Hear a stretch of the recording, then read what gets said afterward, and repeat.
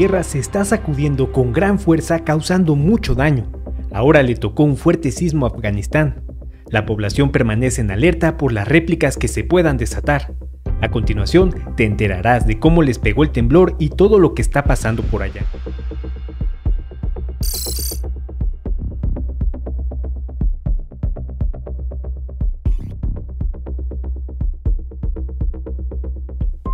Un temblor de 5.6 grados de magnitud cimbró Afganistán alrededor de las 4 de la tarde, hora local del lunes 17 de enero, dejando hasta ahora 12 lamentables pérdidas, decenas de heridos, además de casas y edificaciones colapsadas.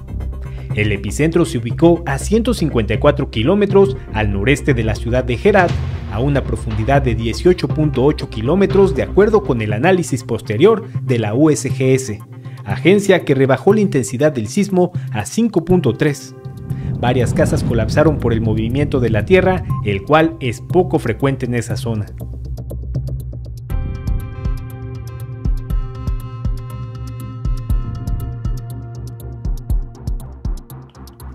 Las lamentables pérdidas ocurrieron cuando se derrumbó el tejado de las casas en Cádiz, una localidad de la occidental provincia de Badghis.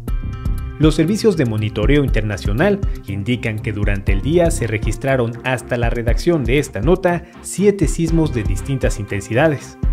Después del sismo más fuerte que puso al país de cabeza, se presentaron réplicas menores de magnitud 4.8.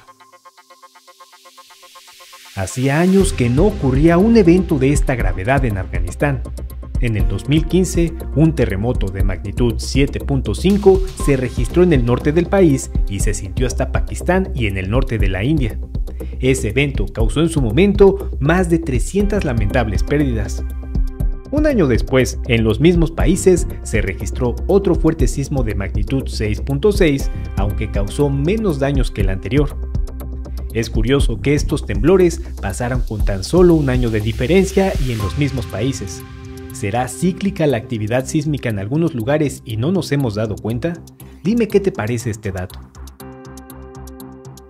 En resumen, hoy Afganistán está viviendo uno de sus peores días, debido al terremoto de 5.6 que desató su furia, causando lamentables pérdidas y daños materiales.